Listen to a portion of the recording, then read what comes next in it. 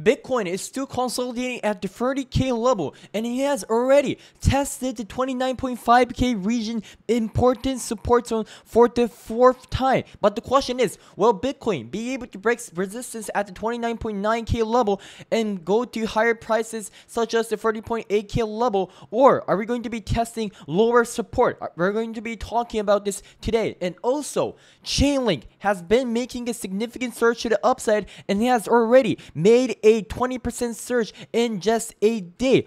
We're going to be talking about whether Chainlink is a buy, where should you be watching for any buy opportunities. We're going to be talking about Ripple and Ethereum as well. So make sure you watch this video to the end. We're uploading most likely daily. Make sure you watch this video to the end, subscribe, and let's get into the analysis. So, Bitcoin has been making this consolidation, you know, construction over here, and it has been a little bit scary.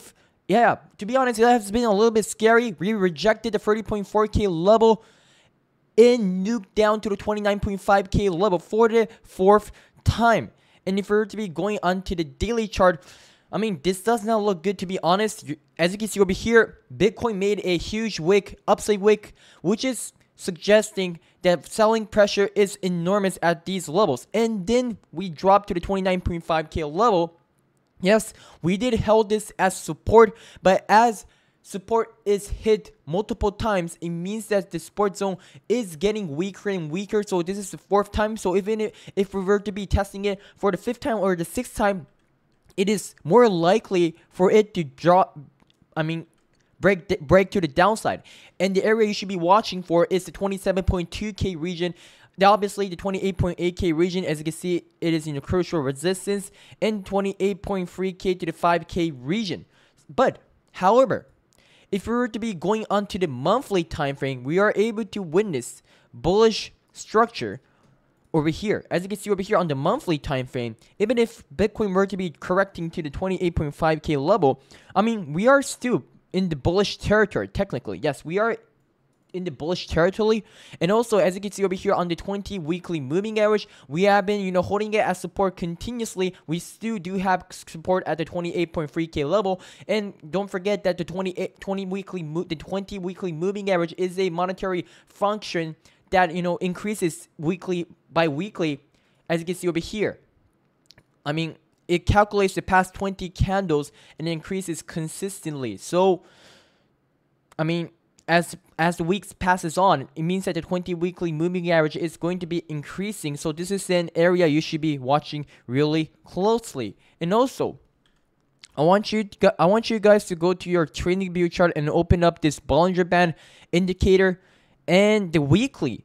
The weekly Bollinger Bands have not pinched this this much in a while.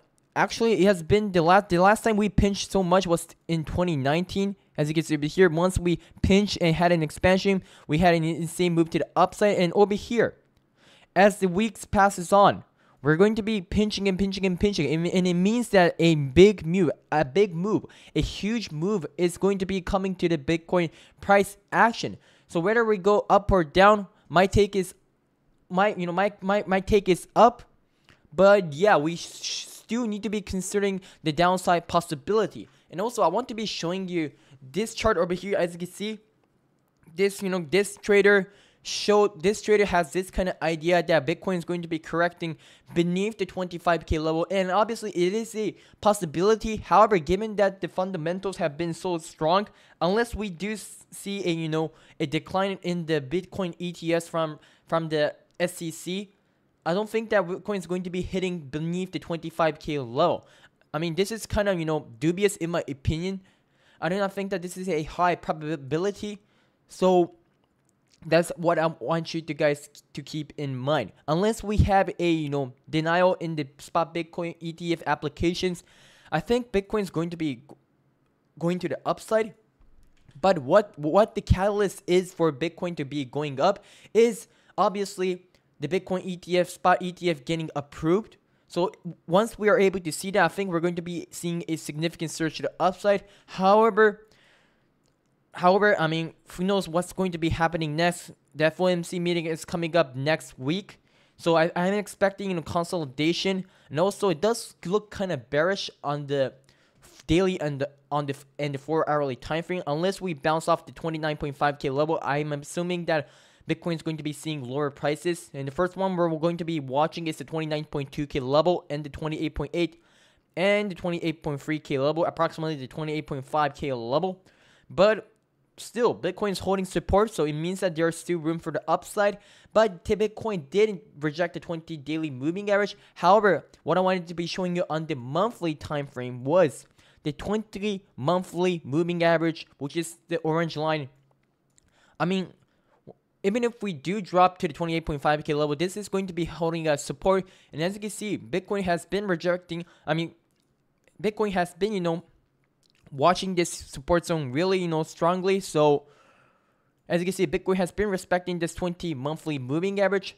So I think that there is a low probability for us dropping below, but we, we should not be discounting that the possibility of having a correction to the 28.5k region. So this is what I want you to have in mind, guys. So I want to be talking about Chainlink. Chainlink has been making a significant surge to the upside. And what are we testing right now is the resistance weekly, monthly resistance zone at these levels. If Chainlink is able to make a candlestick above this level at the $7.9 level, it will be meaning that Chainlink has finally broken out of this, you know, long construction, more than a year of a, you know, sideways, side, I mean, sideways range.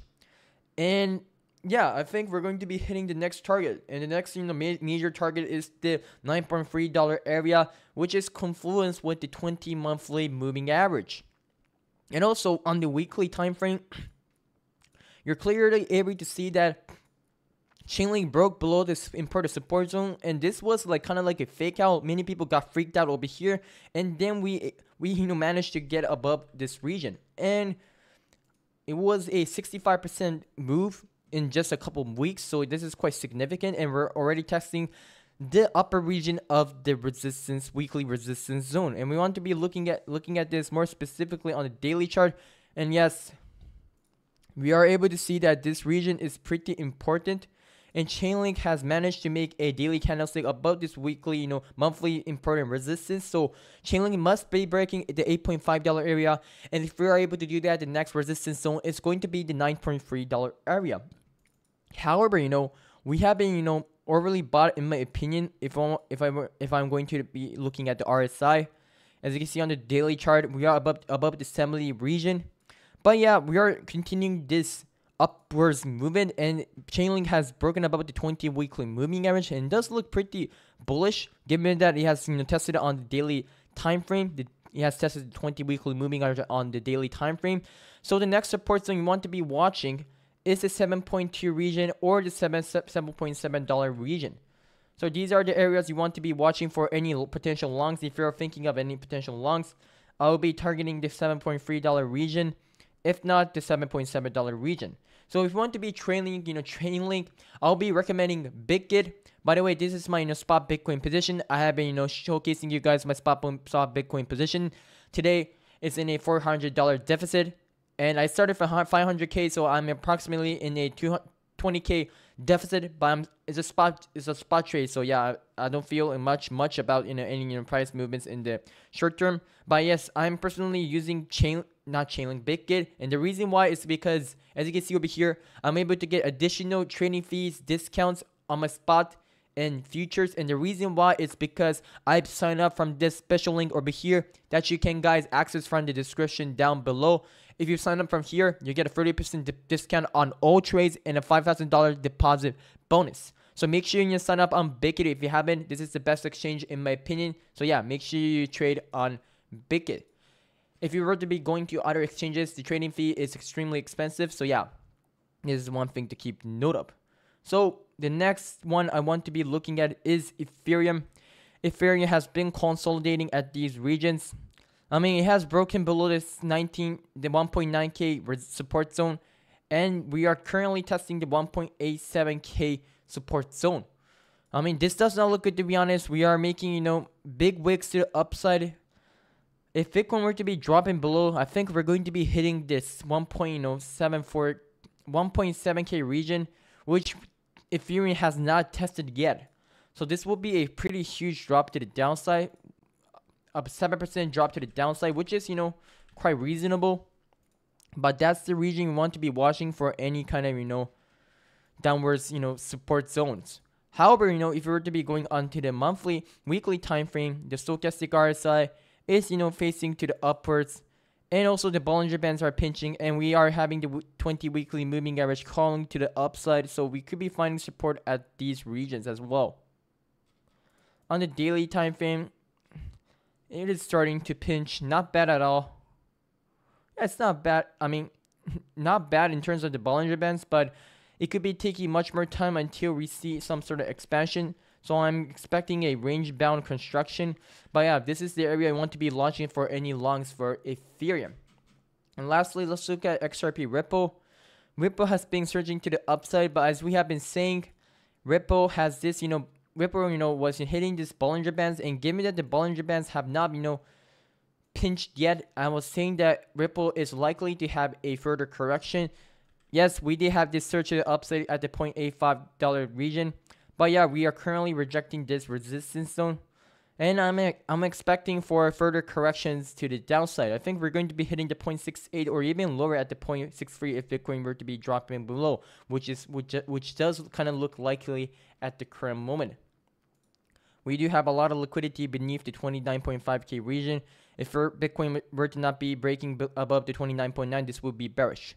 So I think I'll be wrapping up the video over here. Thank you so much for tuning in. Make sure you follow me on Twitter if you haven't so because I'm uh, up updating you guys with you know daily content. As you can see, I have English subtitles about my Japanese subtitles. So yeah, if you don't know about me, I'm mostly a Japanese you know Bitcoin analyzer. So I upload Japanese videos as well. So yeah, make sure you watch, make sure you follow me on Twitter because I'm updating in English, and make sure you join the private Discord channel if you haven't. Also sign up on OKX to get a five percent commission rebate on all trades. Bybit, you get a 30k deposit bonus, so make sure you watch these perks. So thank you so much for watching, guys. See you guys in the next video.